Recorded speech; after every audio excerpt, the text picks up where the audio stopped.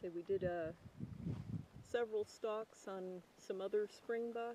They're a very wary, very fast little animal. This is uh, not as easy as, as it may look.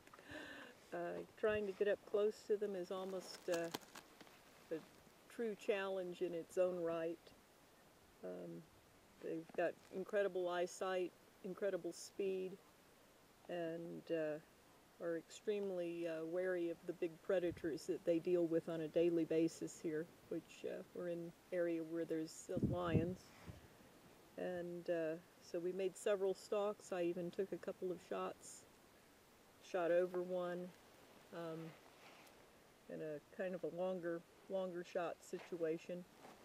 And uh, we tried this one out on the open plain. There was some small brush, which we got in and, and just waited for uh, some to come near us within range, and this buck did, and uh, managed to get a good shot at him and get him down. So here we are, and uh, we've done our genetic testing, and uh, we've had a good start on the hunting with Tam Safaris today, and uh, now Chris is on deck to see if we can't get another one of these lovely little springbuck. We're going to do the uh, DNA test on him as well. We did it on everything all the way up from the smallest things that we've gotten to the rhinos. So now it's this one's turn. And uh,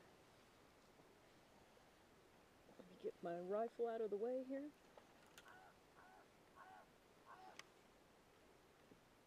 Still the same test for all of the antelopes, all of the animals. It's a blood swab.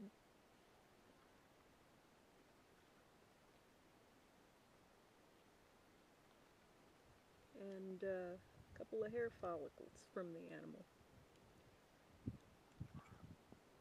One of the things that's critical is to be sure and get some of the root follicles, so you want to get a good grip on the hair and pull the other way. Look for the white tips. See if I can get in there a little deeper.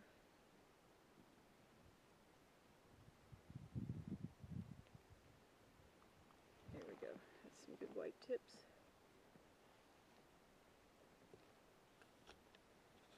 Into the envelope.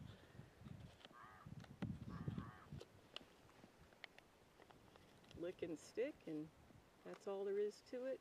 That'll go back to uh, make sure that this animal, ones that he's related to in this area, got some of the DNA of these springbuck into the database for future use and uh, testing and be able to do studies on these animals to preserve them for the future.